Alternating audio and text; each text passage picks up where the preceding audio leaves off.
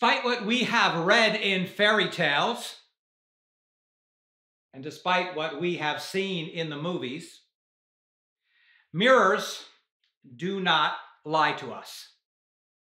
They tell us. They don't tell us what we want to hear, do they? They don't show us what we want to see.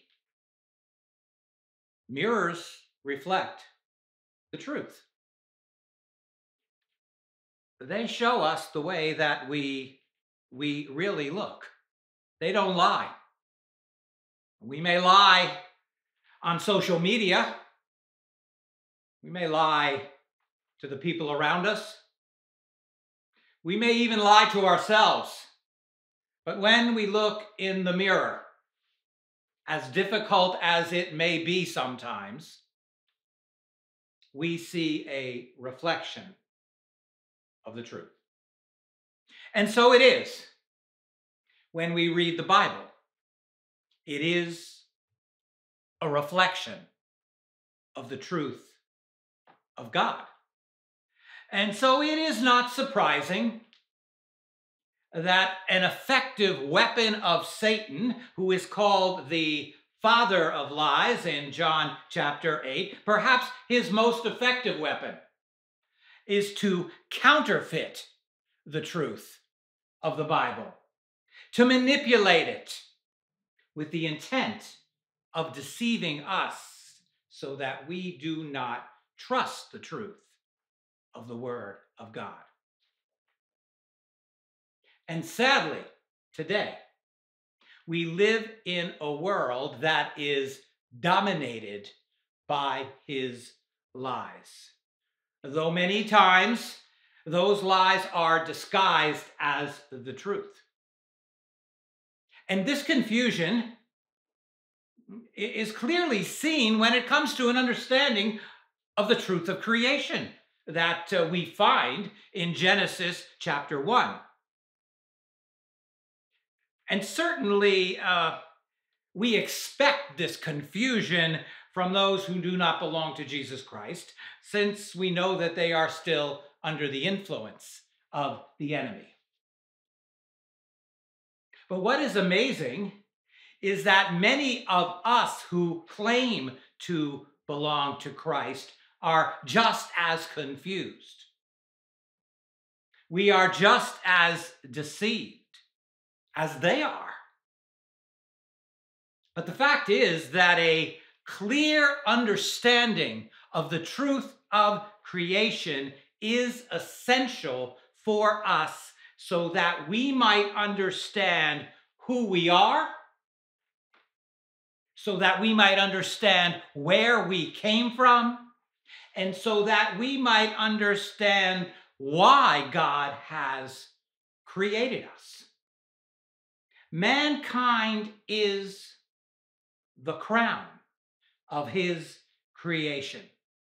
We are the reason that he created the world, the reason that he created the entire universe, so that he could redeem a people from their sin in order to worship and to adore his son in the glory of heaven forever. But Satan has deceived many people into thinking that the simple, straightforward account of creation that we find in the book of Genesis is not true. That it cannot be trusted. That it cannot be taken literally. That it cannot be taken seriously. And if that is what you think, then you are deceived already. Ask the Lord to open your eyes to the truth, and He will set you free from those lies before it is too late. And the truth is this that all that God has done In creating the earth and the sky and the heavens, he has done to prepare a place for us, a place where we can worship him as our creator. He is our creator. As we're reminded in Malachi chapter 2, verse 10, where it says, Has not God created us all? And unbelief in that truth, unbelief in his word from Genesis all the way to Revelation is, in fact, rebellion against him. And so it will bring divine judgment down upon us. But sadly, it says in Romans chapter 1 many have exchanged that truth for a lie, and they worship the creature rather than the Creator. So, as we come to verse 24 of Genesis chapter 1, we come to the final day of creation. We come to the sixth day, where it says, Then God spoke again he said, Let the earth bring forth living creatures. nephesh in Hebrew. Animals. Animals on the earth. Animals that live and that move and that breathe and that are conscious of their surroundings. All of them created after their kind, it says, min in Hebrew, according to their species. And though there might be some variation within that species, they are limited in their variation because of their species. A dog cannot become a cat. And God divided those animals into three groups, into three categories. First, we are told there were, there were cattle, bahemah in Hebrew, animals that could be trained and domesticated, animals that were, were useful, could become useful to man, livestock. And then, we're told, there were creeping things, remes in Hebrew, things that crawled across the ground, animals that were close to the ground, like reptiles and rodents and insects. And at the same time that he created these animals, we're told God also created the beasts of the earth. Hayah in Hebrew, the untamed animals, the wild beasts that roamed the earth. All, we are told, created after their kind. All according to their species. And it says that it was so. God spoke. God spoke. And it was accomplished at that very moment of time. And so he made the beasts of the earth after their kind, and he made the cattle after their kind, and he made everything that creeps on the ground after its kind. And it says in verse 25 God saw that it was good. Tov in Hebrew, that it was beneficial to his plan. A creation that was ready for the crown of his creation a creation that was ready for mankind, that was ready for us, so that we might give glory to our Creator. Then, verse 26, it does not say, let there be, which is what he said when he brought forth the rest of his creation. It says something different here, doesn't it? This is different. This is personal. Instead, in verse 26, God the Father said to God the Son and to God the Holy Spirit in an inward plurality, but at the same time in an outward singularity, in a mystery, in something that we don't fully understand, a mystery that uh, has not been revealed to us. But we are told, He said, Let us make something unlike anything that we have made. Let us make man, Adam in Hebrew, mankind. Let us make a, a rational, a morally responsible being. Let us make a creation that has the capacity to love and, and to have fellowship with God. Let us make a creation that can think and that can reason, that can feel emotion, and that can live in accord with the will of God. A creation that can worship God, their creator. A creation, it says, in our image. Selah in Hebrew.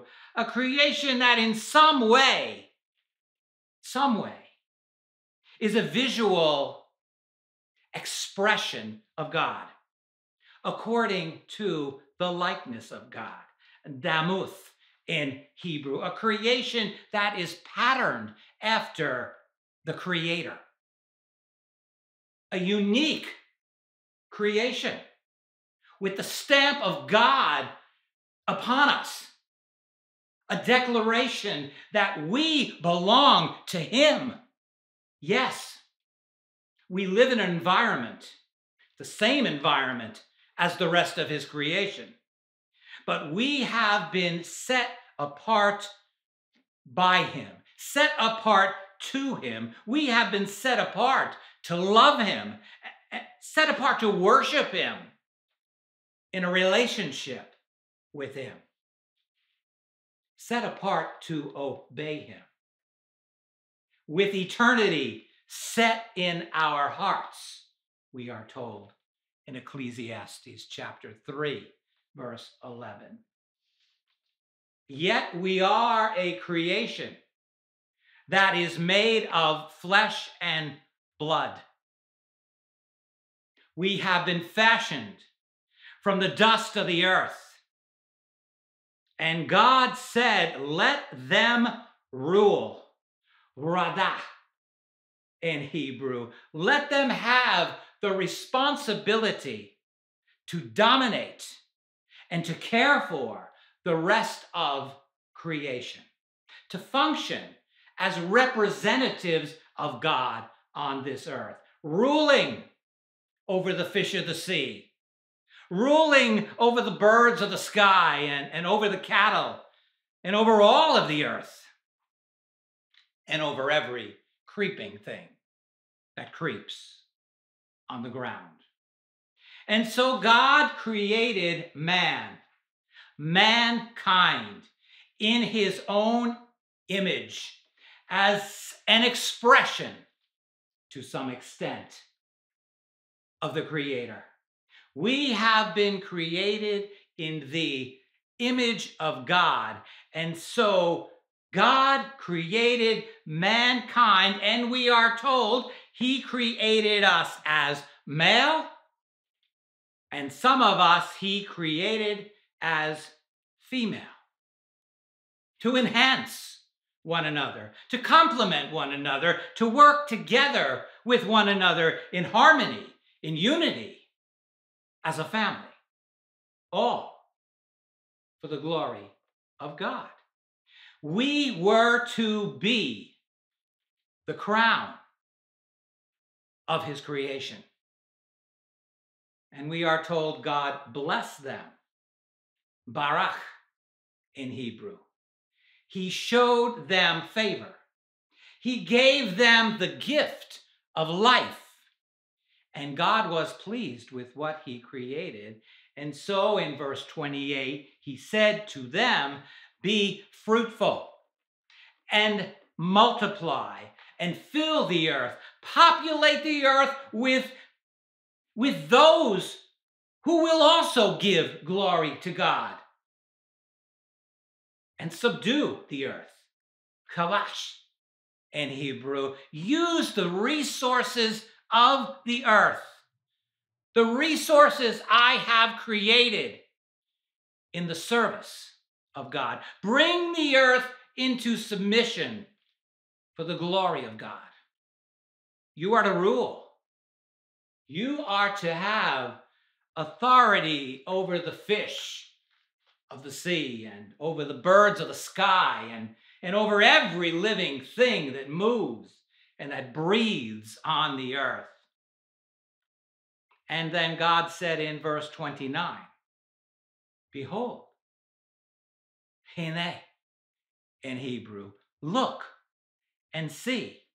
I have given you every plant yielding seed that is on the surface of the earth and I've given you every tree which has fruit yielding seed.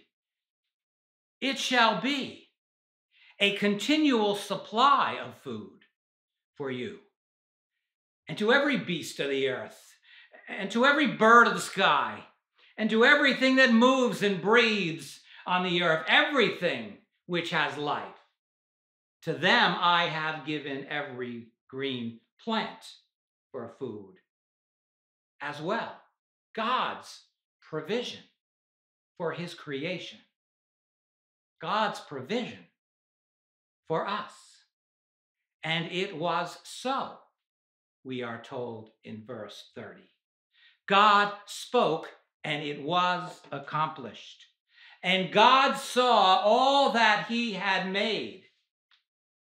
And there was no sin, there was no death, there was no decay. There was only harmony, unity, and peace.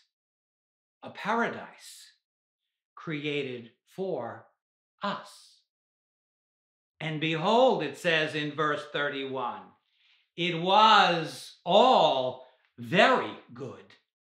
Meod in Hebrew. It was exceedingly good. It was perfect.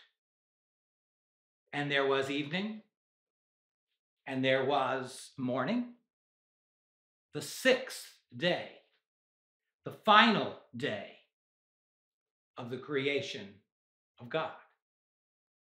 So the question is this What do we see when we look in the mirror?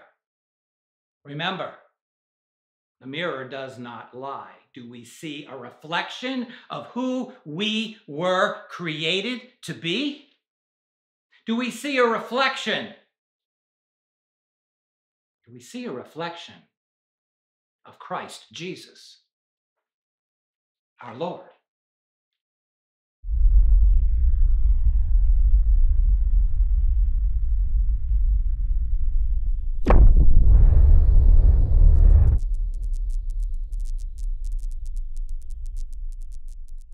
You've been listening to Bruce David Bell, pastor of Berean Bible Fellowship. If the Lord has ministered to you through this message and you would like more information, then visit us on the web at bbfva.org.